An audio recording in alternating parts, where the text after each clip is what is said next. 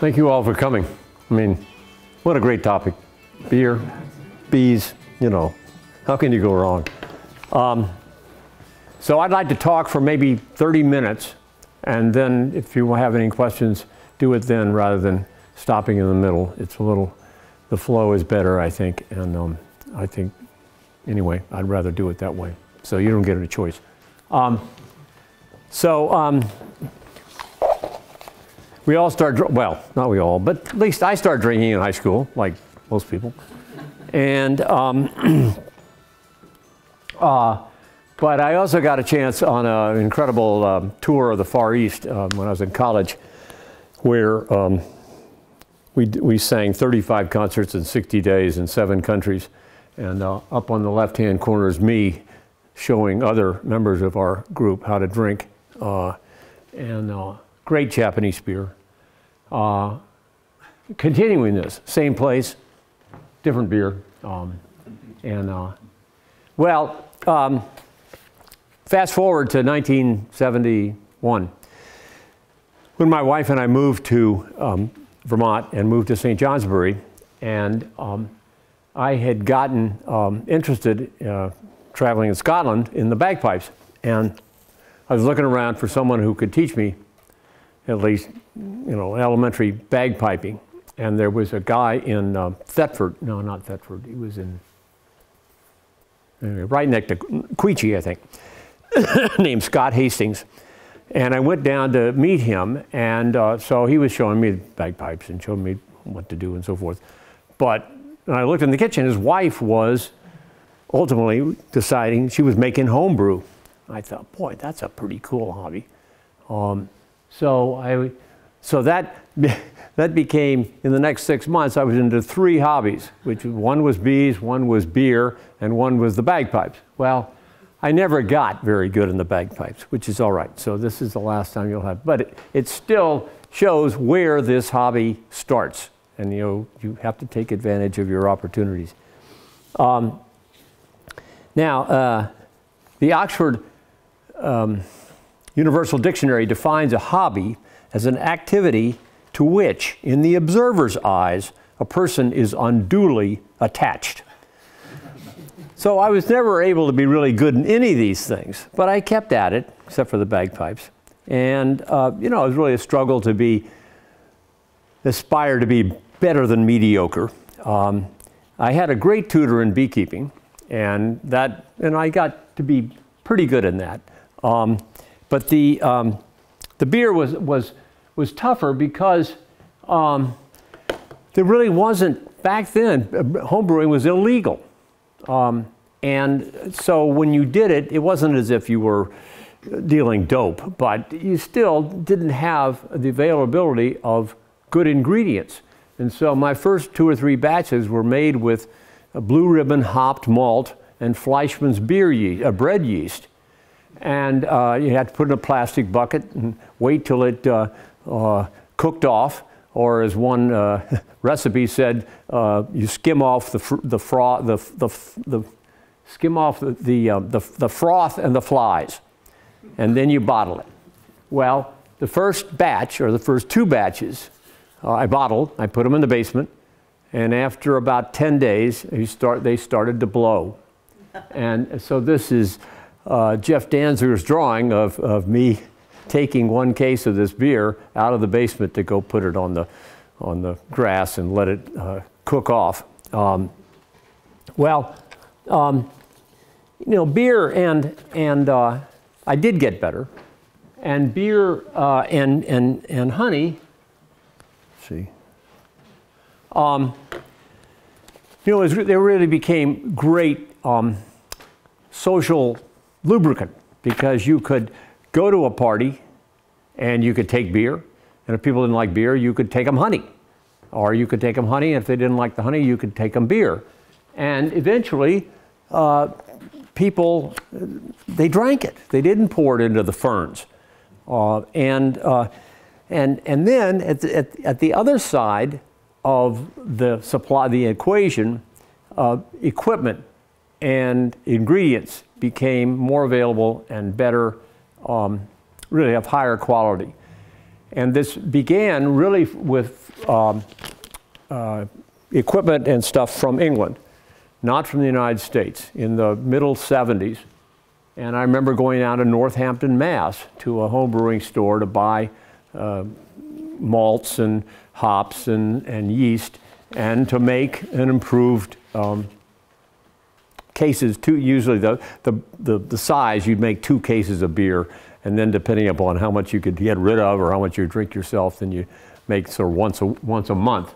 Um, and this is a, a, modern, it's just gone out of business, but it, for 20 years it, they sold homebrew store, homebrew equipment in Winooski. And this is the kind of store that I found in Northampton and, and, in, other, and in other places. And it really led to a, a, a modest improvement in the quality. Well, it was actually a significant improvement in the quality because the ingredients were better, the recipes were better, and in the late 70s, a new uh, supply uh, or new um, industry of homebrewing supplies began uh, to develop in Washington State and Oregon, Colorado. Um, uh, just, uh, you know, I won't. Basically, what beer is, at least by the Germans, Reinheitsgebot, it is, is hops, water, yeast, and malt.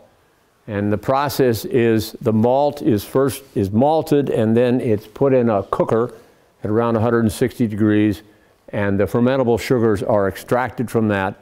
That liquid is filtered, then it's put into a boil and boiled, of course, at 212 degrees with hops. And then it's cooled after 60 minutes, 90 minutes. The yeast is added and then it ferments in tanks for varying lengths of time. And uh, so I, I, like to say that the brewer is acting as a, um, a priest in overseeing the marriage of the bitter hops and the sweet wort to make the beer that we all love, or at least most of us love. Okay. Um,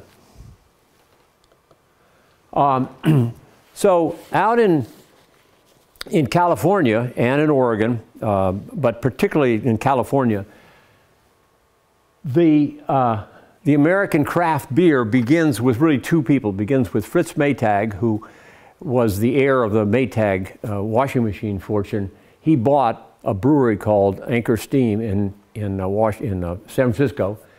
And then at the other end of the economic spectrum, a, an ex-Navy man named Jack McAuliffe, who had learned to drink uh, English beers when he was in the submarine service in England, he retired and set up this little first little brewery in uh, Sonoma, California, in an old chicken coop. And it was the first real craft brewer uh, beer in the United States, well, certainly since Prohibition. And um, this bottle I got from him when I, um, well, I'm getting a little ahead of the game, but um, I'll show you, actually, I'll show you the, this, um, so th these are, except for me, uh, these are real pioneers in the craft brewing history. Uh, up in the upper uh, left is um, Michael Lewis, who taught brewing science at UC Davis. The guy sitting in the, in the wheelchair is Jack McAuliffe. Uh, uh, Charlie Papazian, really the founder of the American home brewing movement. Uh, and then behind him is Fritz Maytag and then Ken Grossman, one of the founders of Sierra Nevada, uh, me, and then the woman is the, she was the curator of beer at the Smithsonian. So they had this big deal, and, uh, and uh, I gave them this bottle. So if you go to the Smithsonian, you see this bottle donated by Bill Mares. So my claim to fame. Um,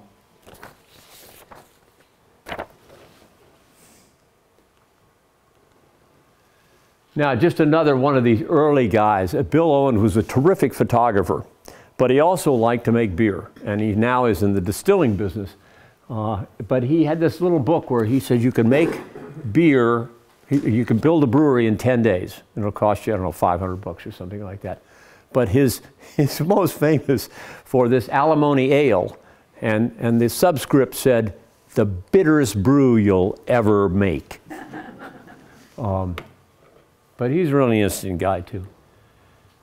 So um, I got really interested. Uh, my, my publisher, I was writing another book in, uh, with a publisher in New York, and, the, and I took a, used to take a couple of bottles of my beer down to him in New York, and um, I'd expatiate about how great homebrewing was and how there was this beginning movement of, of craft brewing around the country. And he said, Why don't you go and write a book about it? So I said, mm, All right. So off I went to uh, California and Oregon State and uh, Colorado and uh, England, went to England and visited breweries and talked to home brewers uh, and ended up in 1984 and wrote this book.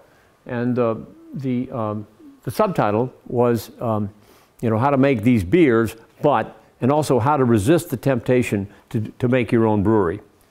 Because at that time there were eight or 10 microbreweries in the country, 1984. Uh, and I used to get calls from people around the country saying, I've read your book, how do I do a brewery? I said, didn't you read the, the final chapter in the book was home to homebrew. You know, I don't want to do this. It was really expensive. And I want to do other things in my life. So a lot of people said, heck, I'm not going to take your advice. And 10 years later, we decided to do another version of the book. And there, by that time, there were 600 microbreweries in the country. So a lot of people said I was wrong. Uh, um, so um, this was the second version, but it's still the same subheadings. You know how to how to resist the temptation to start your own brewery. Well, plenty of people just went ahead, and some of them were in in in uh, Vermont. Uh, and then by that time, I was um, um what was I doing? I was in the legislature. And um, a guy from Massachusetts, Greg Noonan, uh, came to Vermont. He, he, he had tried to set up a brew pub in Massachusetts. And the hoops he had to go through were too complicated. So he came to Vermont. Several people told him about me and, um, and also that I was in the legislature. So what he found was you had to change the law in order to permit brew pubs. Um, and in essence, the, under the post-prohibition law in Vermont, and a lot of states, manufacturers could not sell retail. And so what we had to do was change the liquor control law to allow, to call them manufacturers, to have a, um, a retail license. I, know, I can't remember it was Class B or Class C. But in effect, for the brewer to sell on premise. And so it took two years, but uh, Madeleine uh, signed it. And then I got to cut the ribbon when they opened in November of 88. And uh, was my, you know, one great bit of brewing fame. Uh, and, uh, but it was great. It was, a, it was a third brew pub on the East Coast. Uh, and now I'm guessing there are 10, 15 brew pubs in the state. Or there are even more if you define it. If you look at some place like Burlington Beer Company down there on Flynn Avenue, I mean, it's, it's a big brewery, but it's also restaurant and it's got uh, selling beer. So it's, you could also call it a brew pub. Um, so um, that, was, uh, that was pretty satisfying. Uh, and uh, so uh, the next stage of, let's see. Yeah, so this is, uh, this is foam down on the waterfront. This is a, a I mean, I say modern, uh, but an even more successful, arguably, uh, brew pub than, um, because in, in, the, in the, the pub and brewery, the brewery is all down in the basement. This is all right, I mean, you can stand right next to the brewers as they're making this beer. Um, so these guys um, did a book about uh, brewers in Vermont, in first in the 19, oh, around 2000, I guess. Uh, and um, I was going to show you uh, a few of the the famous uh, people in Vermont and uh, give you a sense of the Vermont brewing scene. Uh, this is their book which uh, keeps going out of, out of print I mean, or out of uh, date because brewers keep coming onto the scene. But it still is a, it's a good book. And he's also, they've also, I'm sorry, they've also done a book about Burlington beer, about the seven or eight or nine breweries in Burlington. Uh, this was the first uh, Vermont craft beer, uh, Catamount, down in White River Junction. And uh, they, they had a good early life, and um, then they got overextended and um, maybe built too large, and then now they're a part of, I think, Harpoon. Uh, uh, Otter Creek, uh, started by a college graduate, graduate from Reed College in Oregon, uh, had a good, successful life, and they've been swallowed up by somebody else. I can't remember. Uh, this is one of the craziest brewers in Vermont, uh, Ray McNeil. Started off as a cellist and then decided, well, he wanted to make beer. And he makes some wonderful beer, but he never could get enough money to really keep the thing going. So all he could do was make great beers for his, his brew pub in Brattleboro. Um, Long Trail, successful uh, in Bridgewater, uh, one of those early brewers. Uh, this is just a picture of, if anyone knows how hops are grown, they're grown on these great, and this is a very these are really good hops that, that Vermont brewers used to have to buy most of their hops from the West, from um, Washington State and Oregon, but now there are a couple of really good hops farms in, in the state of Vermont. Oh, I'm sorry, go back. Uh, so in 2004, th 14, this, this is the crowd, the afternoon crowd on their way to Lawson's tent so they can get beers in the, at the Brewers Festival. Okay, and, uh, uh, and the guy on the right, Todd, I'm going to have more to say about him. But Alan Newman was one of the founders of um, Magic Hat. And uh, he, has a, he had a great phrase about Magic Hat being, let's see if I can, uh, what does he say? Uh, well, maybe I can find it later. Uh, but anyway, he, he and a guy named Bob Johnson founded uh, Magic Hat, and they brought in Todd in the 1998 to be the uh, first a regular brewer and then head brewer. And when he came, Magic Hat was making 7,000 barrels of beer a year, and when he left, 11 years later, they're making 180,000. Um, and then they got swallowed up by another brewery. Uh, uh, Sean Hill of Hill Farmstead, um, we all know about his uh, good beers, which he sells there in Greensboro um, to long lines of people from away.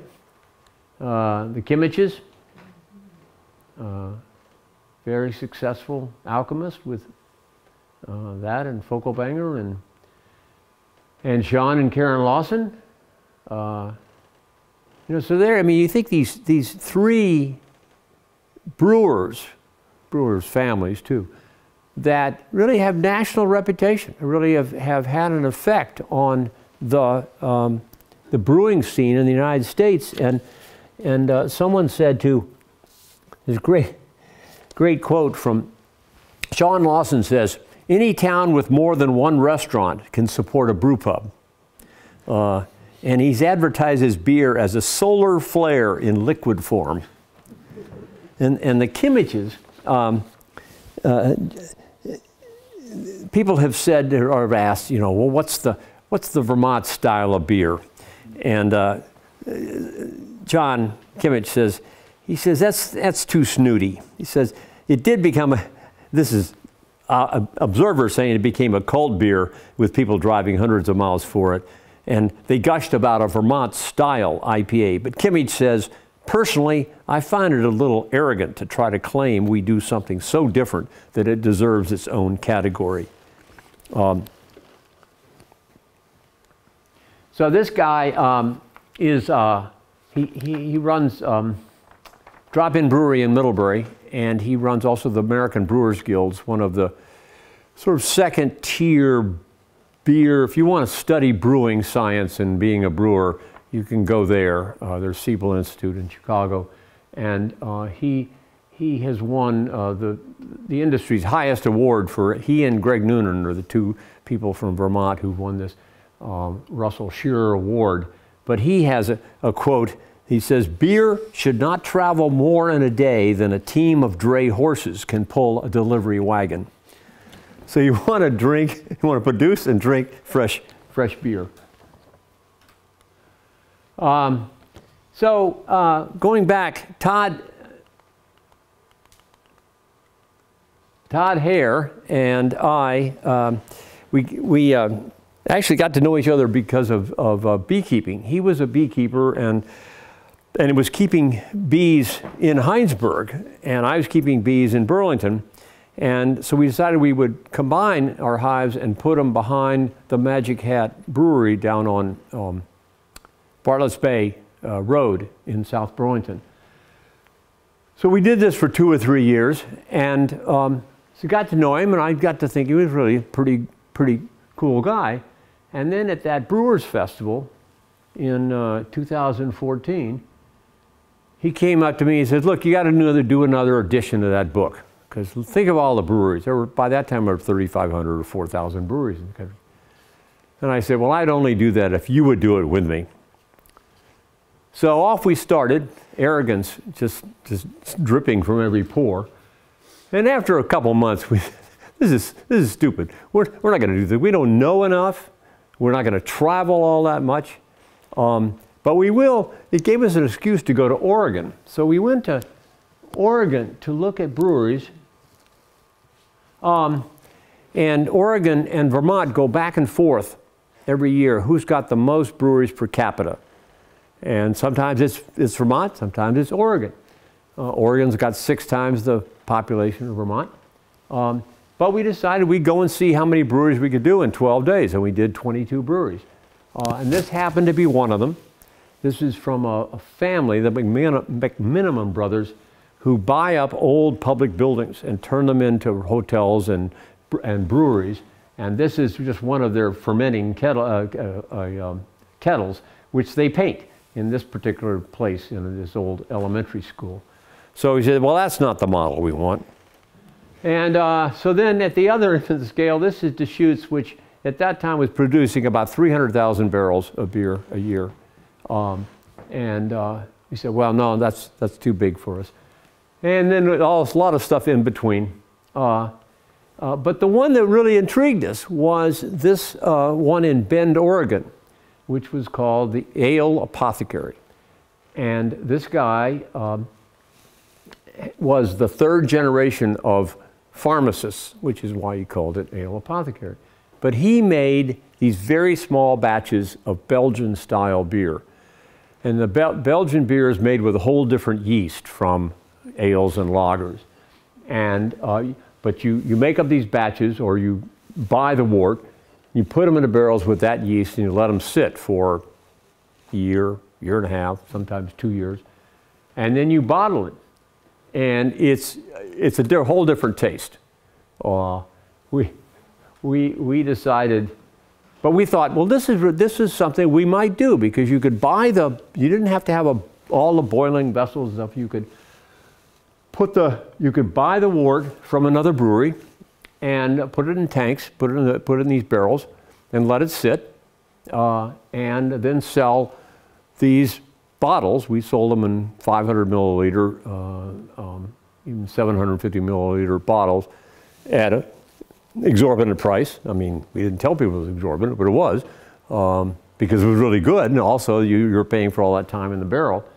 And, um, but it was a different taste because we like to say there, you know, the three, three sips to enlightenment in drinking our beer.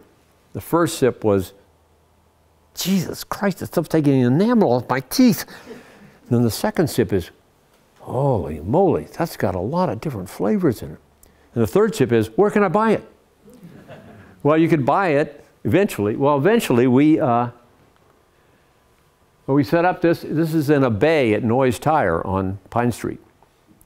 So we rented this, we brought the, the uh, uh, wort and we bought wort from Zero Gravity, from uh, Fiddlehead, in these totes, 660 gallons. Then it went back into the bigger fermenters, And after two weeks, then they went into the, these barrels, which eventually got all the way to the ceiling. And after four years, we ran out of space, and so then we moved down to Nordic uh, Farms in uh, Charlotte. Uh, and then wrote, in effect, the third edition of this book, but it has, it's half Todd and, and, and me because he's the real brewer. You know, I'm the pretty face. And um, it, it, was, it was fun to do. And I have copies here, and um, I'll sign them for $10 and you can have the book for free. Uh, so, uh, so that was really pretty exciting. And then we decided that we didn't want to work full, full time on this, so we sold it to Foam. And by that time, Todd was a partner in Foam, so he, was just bringing another um, uh, cousin into the family. And I was happy to say farewell and go down and drink occasionally free beers at Foam. Uh, so this is my license plate. And, uh, and this is where our bottles were. And um, they all, uh, all had a dot. We started off with different color dots, and then we had added word dots like serendipity dot or uh, I can't remember some of the others because Todd liked to say every great, all great art begins with a single dot. So this was great art. And, uh, and then we also put in some of our honey. So we ended up coming back to this joint production of beer and, and, uh, and, bee, and uh, bees. Um, so here's another two or, um, I can't remember, two or three, uh, different beers made with honey in Vermont. It's not all of them, but I just put them up there for that uh, thing. This is um, Burlington Beer Company. This is Kramer and Ken up in the islands. And uh, this is just a, it's a little out of date. Probably, um, uh, oh, well, it might be, I don't know. I mean, anyway, you get some sense of the, the industry of beer in Vermont. And there was a wonderful comment that Governor Scott made to the Brewers Association at their meeting three years ago. And he, he pointed to, he said, you look at a map like this, and you see that the industry is not concentrated in, this, in the cities. This is little breweries with two and three and four employees sprinkled around the whole uh, state, all of them adding to the local economy. And this is just a great thing to have. Uh, now, I, I, I, don't think you can, you can see, I wish I could, if you look, how's the focus on that? Does that look like, is it in focus? Can you see it in focus, the map?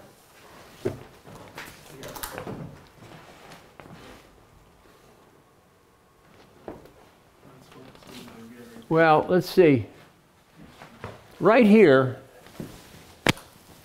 this is where uh, uh, seven days, seven days building is. But that is also was the, the home of Peterson's Brewery from the 1860s to the time of Prohibition. Uh, it's the only brewery that I think, well, the only one I could ever find in Burlington. So this is a map from um, 18, late 1860s.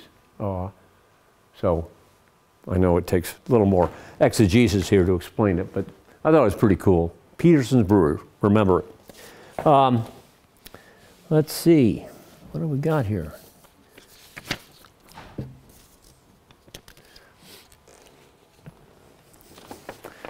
Uh, a couple more quotes. Uh, and um, yeah, we, Todd liked to say we're practicing the tactics of scarcity, not scare tactics, as we make our beers. And, uh, and of course, you've all heard the old saw give a man a beer and he'll waste an hour, teach him to make beer and he'll waste a lifetime. Uh, but this has nothing to do with beer, except it's a great quote. This is William James, the American philosopher, who said, The union of the mathematician and the poet, fervor with measure, passion with correctness, that surely is the ideal. Okay, I'll take some questions. I think, wait a minute, I got, I got actually me one more. Oh yeah, here, okay, so this is the pub and brewery today. I mean, it's not a great picture, but anyway, that's, uh, then there's Uh, Queen City, uh, Paul Hale was a chemist at UVM, and uh, he and three partners started this, and this is his beer can collection down at uh, Queen City on Pine Street. Uh, and that's his old truck. You can't, I don't know if you can see the truck they put above the bar in this horseshoe shaped bar there. Um, and this is just telling you, you know, this is zero gravity uh, with hundreds and thousands of cans of their, their uh, signature beer, Conehead. Uh, Bill Cherry, the founder of uh, Switchback, uh, he bought these wonderful German uh, copper tanks. I think they were, they were done, made in the 50s, but he brought them over when he started the brewery. Um, Berlin Beer Company used to be, was where the La Lumiere um, uh, movie company was located. Uh, and uh, this is not Swinooski, but uh, um, oh God, what's his? Huh? Brian Eckert. Brian Acker. Eh, eh, Brian Eckert. Yeah, yeah. Uh, who um, used to keep keep bees, uh, but he also worked at. I think he worked at uh, Ben and Jerry's. Ben and Jerry's. That's right. Now he's running this great brewery in Winooski. Okay, questions. This is one of my sons who works for Zero Gravity. Okay, so now I ask questions or statements.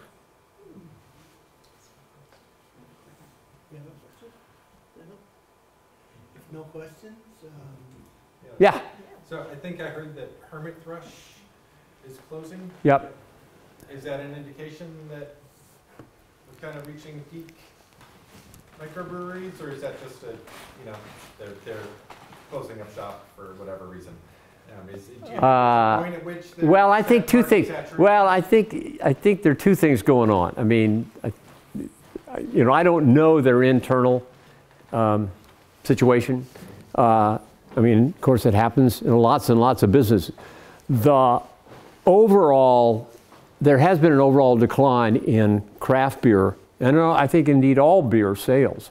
Uh, as people are avail- can buy other things. I mean, here I'm drinking. This is from Zero Gravity, but it has no sugar, nothing except some hops extract, and they call it hops fizz, and it's, it's selling well.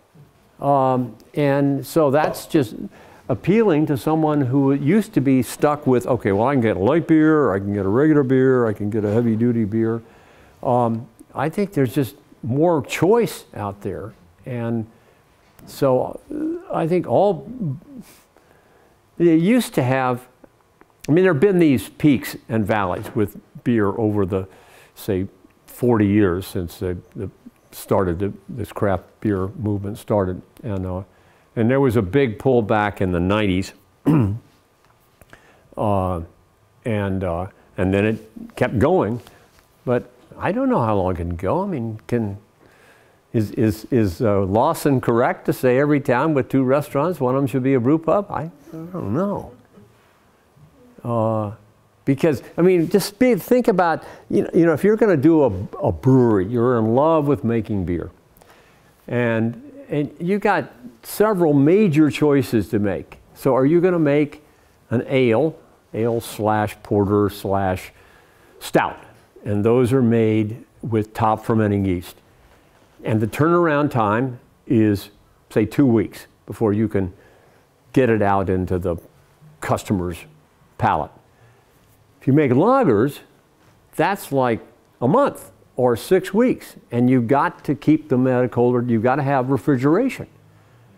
And that's a different capital investment. Um, so that's one, and that's why most of the first 10 years of breweries in this country were, um, were ale based. They, were, they weren't lagers. They, the only lager brewery that started then that I visited was one in Montana. Um, and uh, I mean, the ratio was 20 to 1. Now it's, you know, still is much more ales than, than lagers. Um, that's, so that's one cho- uh, choice. And then another choice is do you do a brew pub? Do you say, well, I don't want to put all my eggs in one basket. I want to do just beer. That means I got to go out and and find a distributor or do it myself or put it in the put all this stuff on the shelves and and just sell this beer against 8,000 other beers that are out there? Or do I do a, a, a restaurant as well and have two streams of income? Um, well, that means you have to have two sets of skills. You got to have, you know, a brewer who's going to produce beers that aren't going to make people run for the hills, uh, as well as a good chef.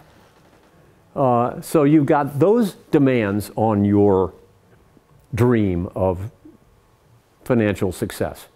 Uh, so it's that's why that's why I went home to home to homebrew. Yeah. You know, speaking of home brewing, it was a real shame to see Annie and Matt White close up, uh, you know, Vermont uh, Yeah. Supply. Yeah. Uh, Is there a place for that sort of business in, in Vermont any longer, or where where can we go to? I don't know. I mean, if, if they can't, if they couldn't make it with their track record and with the breadth of stuff they offered, I don't know who else can do it unless, unless um, the shipping gets so good that you, you can get it all out of. Uh, um, I was trying to think the other day how I buy beekeeping supplies from several places. One is in Pennsylvania, one is in um, Greenwich, New York, um, and sometimes out in Minnesota. Um, but those are really big operations. I mean, it's not, doesn't make sense for, there actually is a, one, a woman who has a beekeeping supply store in Williamstown, Vermont. But she has to pay extra for the shipping that, because she's, she has to buy it from these bigger people. So then, for the convenience of you going to Williamstown instead of Greenwich, she's got to add X amount. I think, I think it's tough. um, and then, how many people want to continue to do home brewing when they can go and drink really wonderful beers in uh, public places? We had a definition there that I think said it. earlier. right. I don't know. I don't have an answer. yeah. I have a question about Heady Topper. Yeah. I've got, I've got a young, a young friend who comes from Connecticut, and, and uh, he, when he comes up, he wants me to find the store that's going to get the delivery of Heady Topper on the day he's going to be here. Now, what is so special about Heady Topper? Well, it's a cult beer. I mean, I think it's great, but uh, you know, I don't think I would that I would do that. But I'm here. I'm living in Vermont, so I can I can pick and choose. Uh, and I don't think they do it as much as they used to. It used to be that the beverage warehouse would have it from 11 to 1 o'clock on Saturdays, and and and. But I think you can get it now anywhere, right? Okay. Uh, He also likes Lawson and that Edwards up in, Yeah, well, same thing, yeah. But there you have to travel up there. But that's another cult, you know, it's a pilgrimage. You know, in the Middle Ages, you know, they went to look for Christ, but, you know, here they go and look for beer. Yeah, Do you know if, the- where they, if or where they made beer um, during the uh, Prohibition in Burlington? Do you know anything about that? during Prohibition? Yeah, Well, what, I mean, Prohibition prohibited it. illegal. Beer. Illegal. Oh, illegal beer. Yeah, illegal beer. Well, Illegal beer. I don't know. My father was a chemist uh, for Goodrich uh, Tire Company in the, the 20s, and he had a, um, an apartment that happened to be over the um, residence of the sister of the sheriff of Akron County. And one time, their batch blew and came dripping down through the roof. And, and the woman said my father, Well, you get it all cleaned up? I'm not going to tell my brother. Uh, but that must have happened a lot. I mean, know, people died of alcohol poisoning. I mean, it just, it, you know, it's. And then of course they bootlegged it in from Canada. I mean, Vermonters were lucky because they were so close to Canada. In, in the early 1800s, or so before the big boom that we have right now, where, where were kind of the major microbreweries, you know, local breweries in, in Burlington? I, for example, I think I recall that there were breweries in the block, or a brewery in the block where Radio Bean is now. Um, Gosh. In what period? I mean, I, you know, I, early 1900s, late 1800s. I don't know. I've, I've, on these maps that I've been looking, it's the only, Peterson's is the only one I ever found in, in Burlington. Okay. Um, So was Peterson's the brewery that, um, the reason that it became illegal to brew and serve beer in Burlington was that down by the railroad tracks, they were brewing beer and they had so many rats that uh, they, they had to, that's what, that's why it became illegal to do the both in, that was back in the eighteen hundreds, earlier, uh, eighteen fifties. huh. Well, I never heard that story. I mean, maybe true. Huh. Greg Noonan is a, a- a friend of mine, and uh, I met him.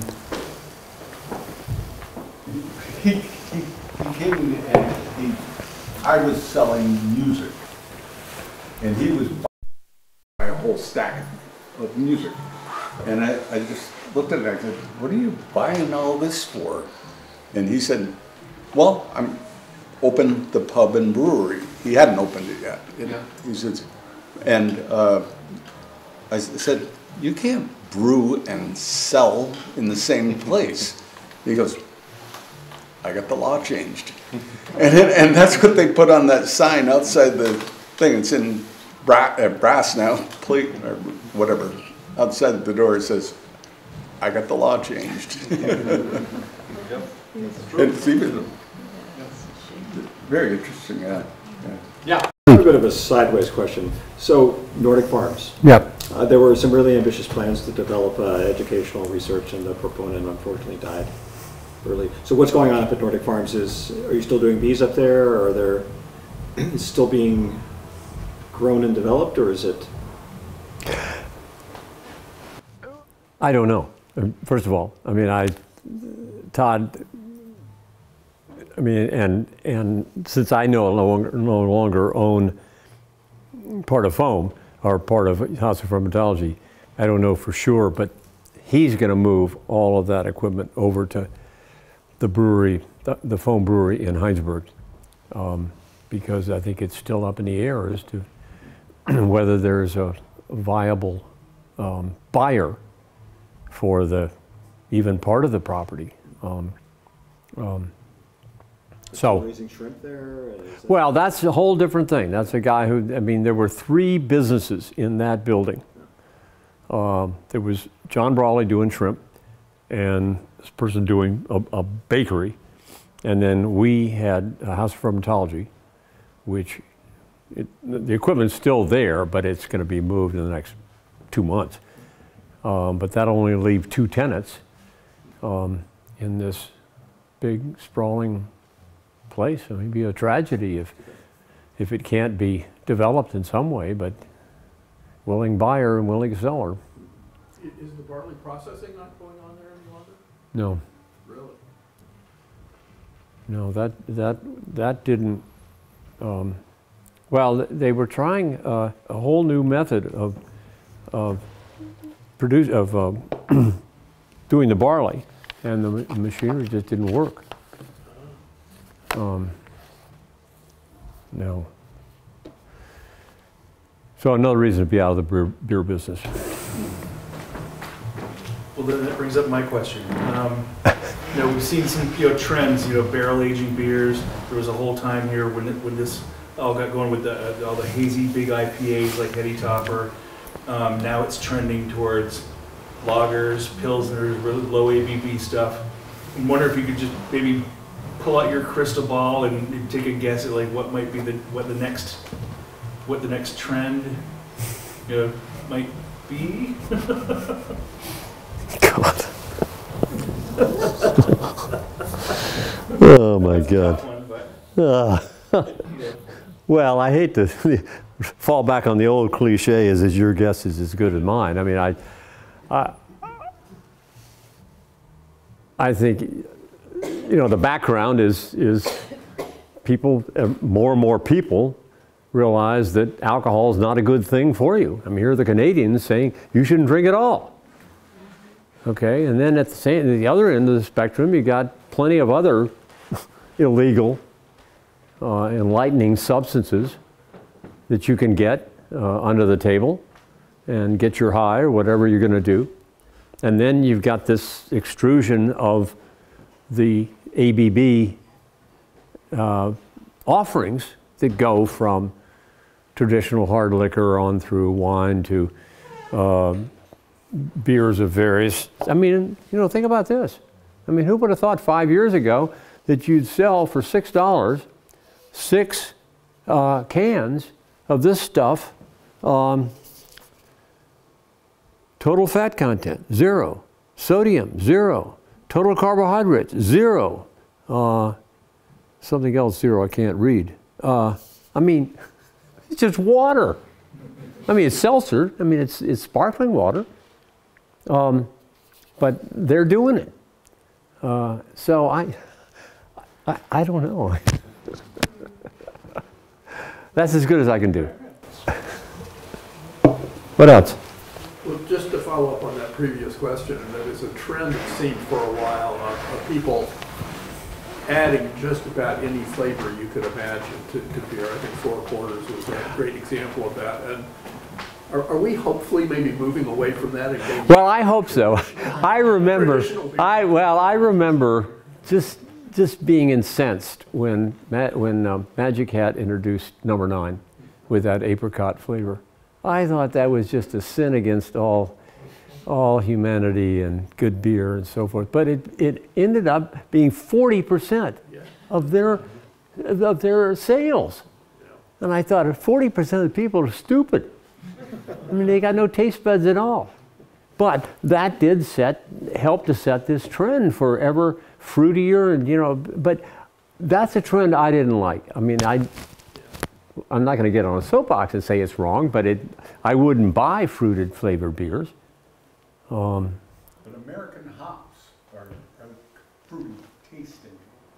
There's, there's, well, I think, if, I mean,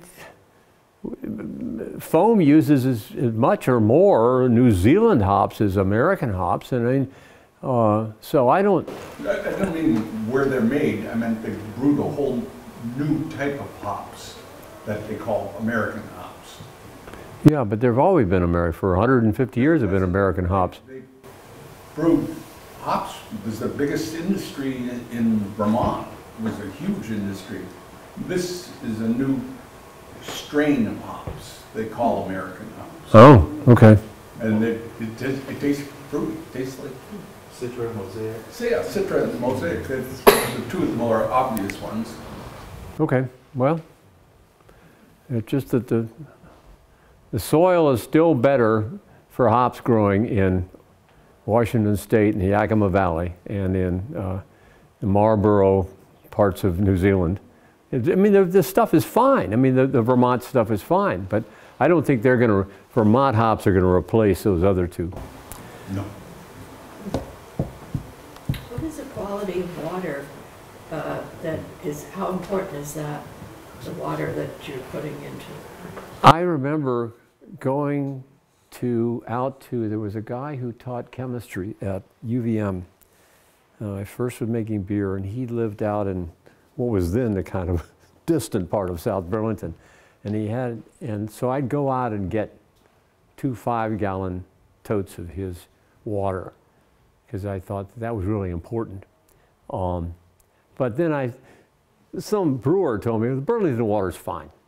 And then if you're a real brewer, you can adjust that with all kinds of stuff that you add to get the, the pH that you want. So, you know, other than getting the, I mean, think about Budweiser. It's been uh, making beer in St. Louis for 150 years.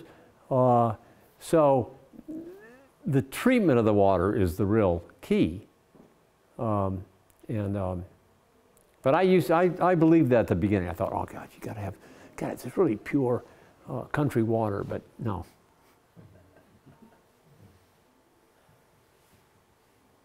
What else? And.